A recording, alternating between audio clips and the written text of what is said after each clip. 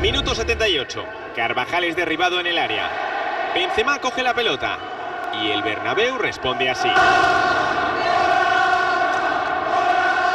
Y esos gritos se transforman en un contundente...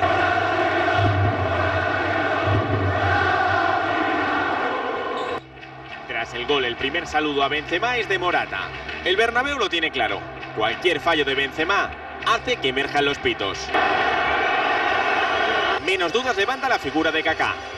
La primera que tiene el brasileño acaba así. Unos minutos después, Kaká demuestra su compromiso. Pelea una pelota. Y lo que de inicio son aplausos, termina en run run.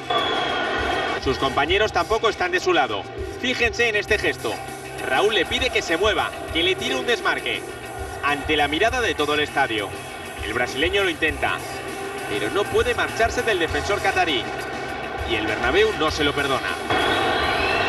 El día del homenaje a Raúl, el Coliseum Blanco dejó claro que Kaká y Benzema están bajo sospecha.